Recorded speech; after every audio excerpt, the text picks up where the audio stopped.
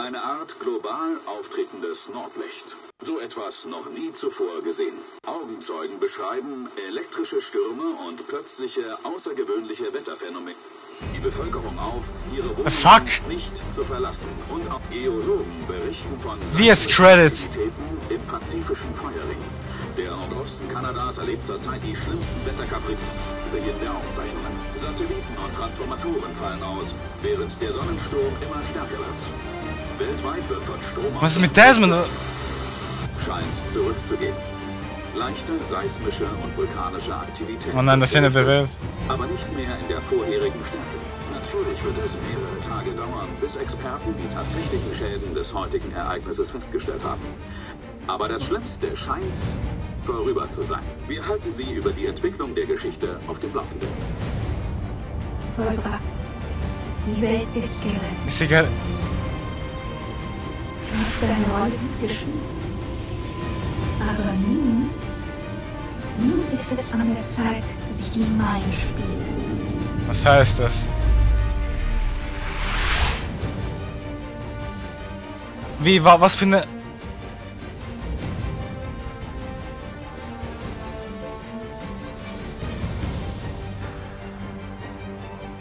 Wa, was hat Desmond jetzt getan?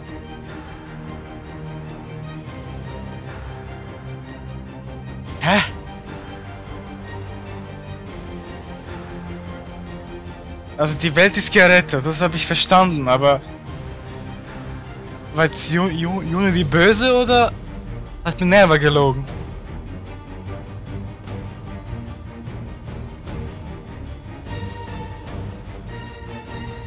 Fuck! Oh nein, Desmond da- darf nicht tot sein.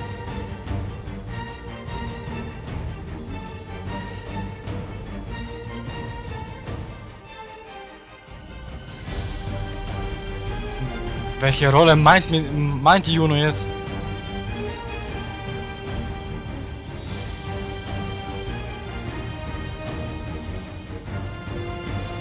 Uff, so, selbst am Ende der Geschichte gibt so ein Cliffhanger-Ende.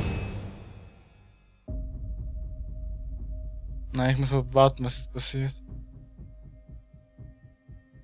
Shit, Desmond. Ah. Na gut, die Credits sind hier, ähm, wenn die jetzt laufen, mache ich wohl irgendwie eine, eine Zusammenfassung des Spiels oder irgendwie mein Feedback dazu. Ähm, wo soll ich anfangen? Wo soll ich anfangen? Äh, ein würdiger Nachfolger zum zweiten Teil zu Revelations. Ähm, Connor ist eine geile Figur. Eine schöne Ergänzung zum Bofan-Trio, wie man es so nennt. Ähm,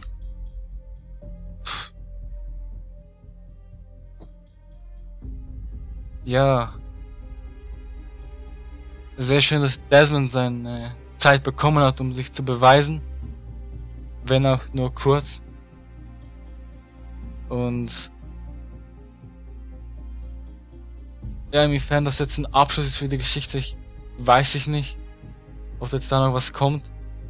Was für eine Rolle Juno meinte. Und ob die anderen Fragen alle geklärt werden, die 16 uns aufgegeben hat. Ob Desmond jetzt einen Sohn bekommen soll oder wer Eva ist. Was jetzt aus den Tempeln wird, was aus den Assassinen wird.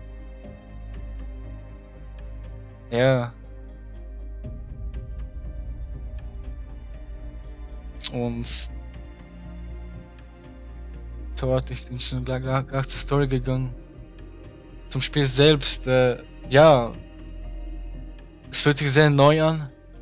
Also gar nicht wie die alten Teile, es ist wirklich ein neues Assassin's Creed Spiel. Und wenn mich ein paar kleine Sachen gestört haben, im Großen und Ganzen ein sehr tolles Spiel. Die Städte fand ich jetzt an sich nicht so toll wie in den Vorgängern. Ich weiß nicht, die waren überhaupt nicht irgendwie, keine Ahnung, speziell.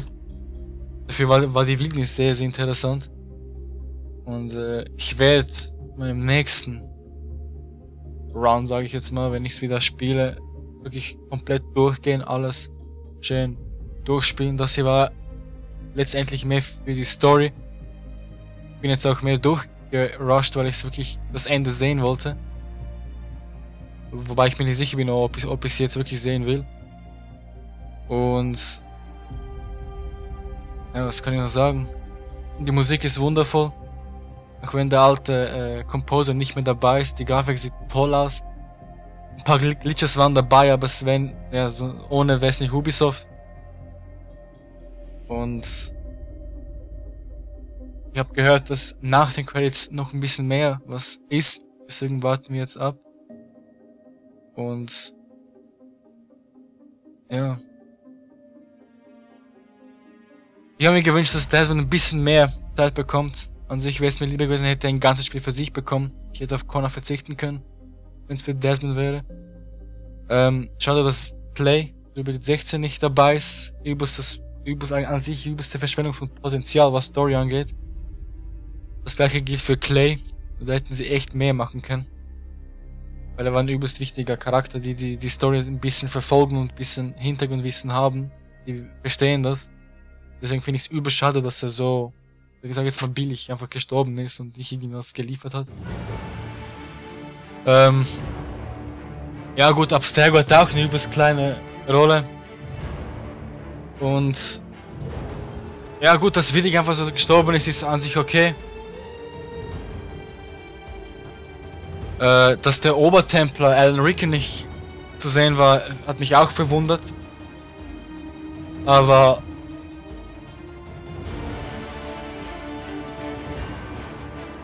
Und ähm. Ja, was fehlt denn noch? Der ist eigentlich okay. Es ist. Desmonds Gameplay war sehr geil. wirklich schön, ihn campen zu sehen. Ja, was Desmond angeht. Ich, ich habe keine Ahnung. Ich meine. Wenn er tot ist, womit ich äh, gerechnet habe eine Zeit lang, kann ich es verstehen. Es war, meinen Helden tot zu sterben, war eigentlich nicht der beste Tod, den er kriegen kann. Trotzdem finde ich es unglaublich schade. Weil er war so gesehen mein Lieblingscharakter der Serie. Er war die Hauptfigur. Und jetzt kam er, war ausgebildet, ist er gestorben. Und fünf Jahre lang habe ich verfolgt, wie er aufwächst. Es steht geht einfach drauf. Aber gut, da hat er seinen schönen Auftritt.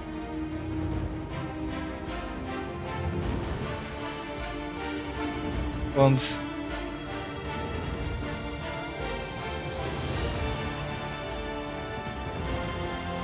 ja, das Schlimme war ja, Desmond konnte nur verlieren. Und wenn, wenn June eine Verräterin war, was ich ihr zutraue, ich habe sie von Anfang an gehasst. Ich, mo mo ich mochte sie nie. Dann hatte Minerva recht, dass wir an sich die Zeit vergeudet haben mit diesem stummen Krieg, Assassinen gegen Templer nur um die Eden später zu kriegen. Und äh, ja.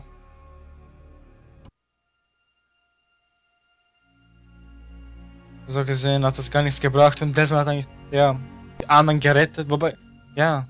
Weil an sich hätte ich die Wahl gehabt. Ich wäre, glaube ich, ich weiß nicht, ich, ich hätte vielleicht Minerva geglaubt. Eine, neu, eine neue Welt anzufangen wäre gar nicht schlecht gewesen.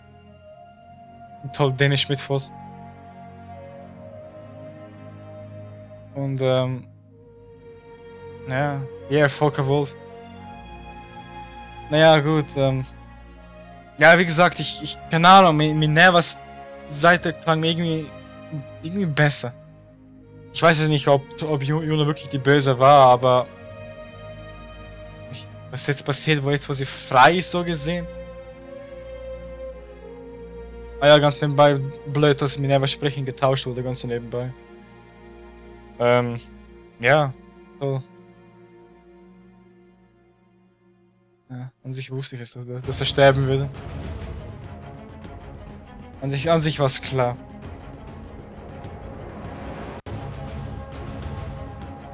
Ist halt die Frage, was die anderen getan haben oder tun werden oder was jetzt eigentlich an sich passiert. Ob Ubisoft die Story hier weitersetzt oder einfach, weil weitere Spiele wird es geben. Das ist klar. Aber inwiefern das jetzt mit der Story, also wenn, gut, wenn Desmond jetzt weg ist, können sie mit jemand Neuen anfangen, wenn sie die gleiche, das gleiche Schema verwenden. Aber, hm.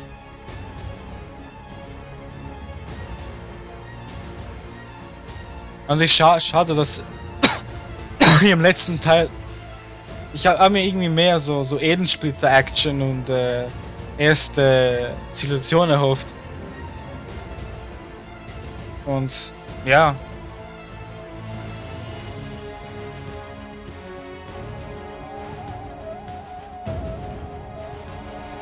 Es ist an sich ziemlich traurig, wie man überlegt, dass an, an sich gab, ich weiß nicht, wann Minerva die Hoffnung aufgegeben hat, aber ja. Alle, alle Vorfahren von von, von äh, Desmond. Ich weiß nicht, ob, ob jetzt Aquilus was damit zu tun hat oder nicht, aber Altair, Ezio und Connor, die waren eigentlich da, um Desmond zu leiten, zu führen und quasi die Hoffnung zu übertragen. Jetzt ist halt die Frage, wann war diese Hoffnung eh nutzlos? Ob, ob Ezio schon an, an sich völlig nutzlos war? Ja, die Welt konnte man eh, die, die konnte man eh nicht mehr retten anscheinend. Also nicht so, wie es an sich geplant war. Ich, ich verstehe halt nicht, dass äh, der Plan der ersten Zivilisation war ursprünglich, äh, ihre Rasse wieder zu erleben. Also wieder aufzubauen. Und da war Desmond ein Teil. Wenn der jetzt weg ist, dann war es eigentlich umsonst, was die da geplant haben. Toll. Solche Götter sind immer Trolls. Götter außerirdische egal, alle, alles Trolls. Erste Zivilisation, alle, alles toll. Ja, ähm.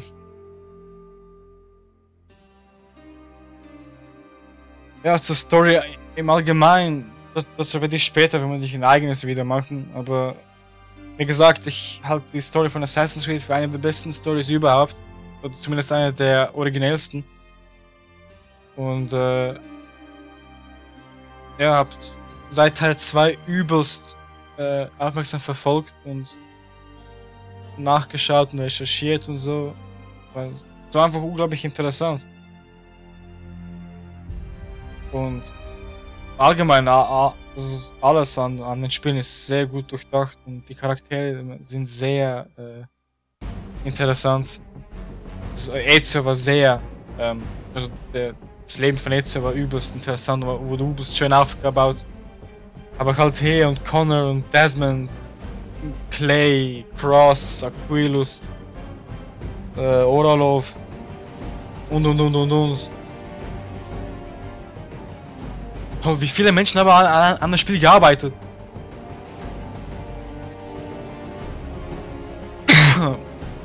ja, ähm.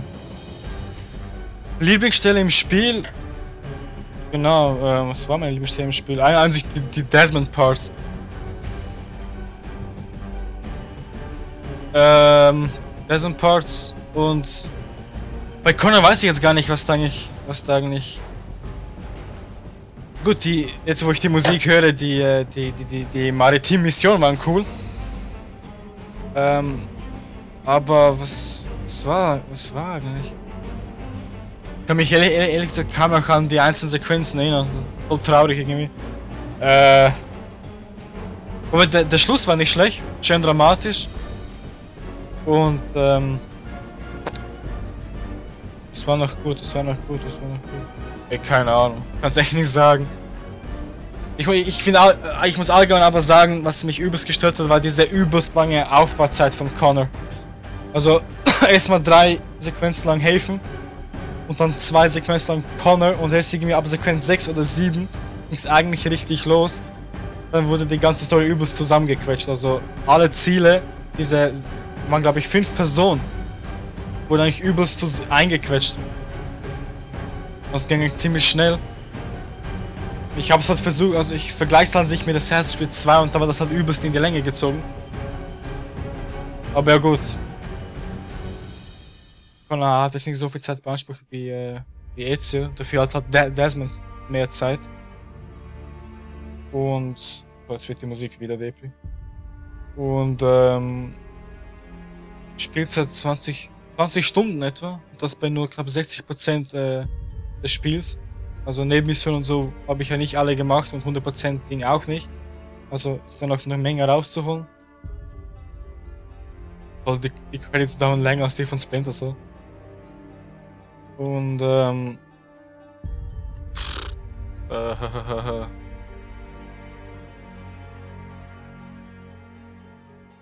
Was, irgendwas wollte ich jetzt noch sagen. Ah, ich habe gedacht, man würde kurz äh, Evelyn sehen. Aus dem, aus äh, Assassin's Creed äh, Liberation. Aber anscheinend nicht. Anscheinend nicht. Ähm, aber ich weiß, dass man Connor dort sehen wird. Deswegen eigentlich seltsam, dass man sie nicht sehen wird. Aber ja, Connor müsste an sich jetzt noch ein Ende bekommen. Nach den Credits, soweit ich das weiß, müsste noch irgendwas mit ihm jetzt kommen sein Abschluss oder eine Fortsetzung, weil an sich seine Erinnerungen sind noch nicht vorbei. Und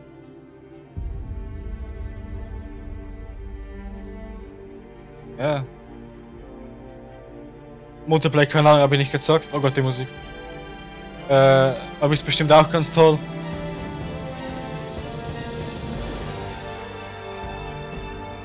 Ja, eigentlich habe ich nicht mehr zu sagen. Ich warte, bis die Credits vorbei sind. Wenn mir das einfällt, dann...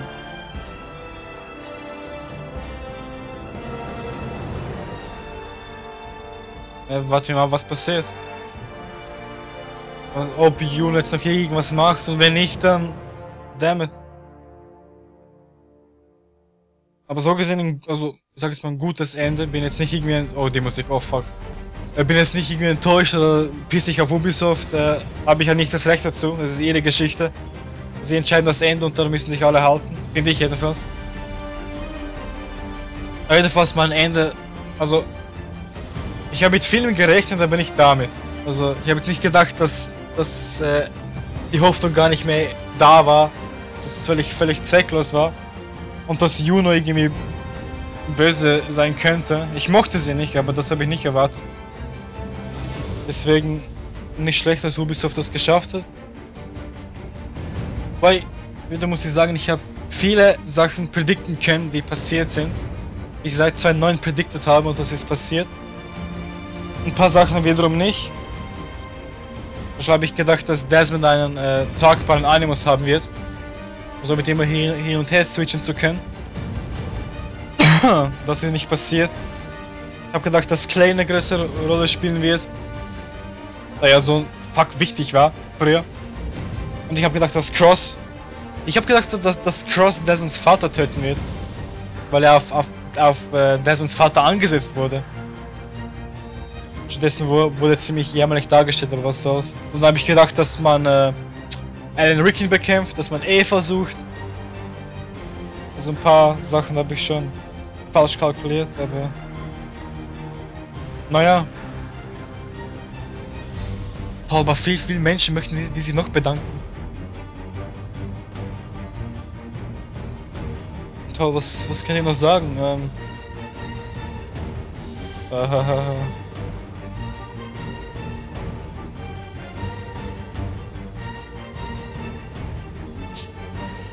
Ah, mal schauen. Ähm, wenn ich jetzt sagen müsste, welches ist, ist das Beste der, der Teile, ich, keine Ahnung, ich würde ich würd eigentlich schon zu Assassin's Creed 3 gehen. Wobei ich muss, ich muss sagen, Assassin's Creed 2 war das, war das Spiel, das mich am meisten geflasht hat. Ah, das Ende war halt übelst der Mindfuck. Aber ich denke schon, dass Teil 3 eigentlich. Also, das ist schon ein bisschen besser. Also, das ist eigentlich doch ein gut, guter Abschluss. Zumindest meisten mit Teil 2. Teil, Teil 3, Teil 2, Revelations, Brotherhood, Teil 1. Würde ich jetzt sagen, weil Teil 1 hat übelst langweilig war von, vom Gameplay her. Und Brother war auch ziemlich lame. Dafür war Revelations an sich ziemlich geil. Aber Teil 2 und Teil 3 sind die besten Teile. Und so, der jetzt gehen langsam Richtung Ende. Keine gute Tat bleibt ungestraft. Okay.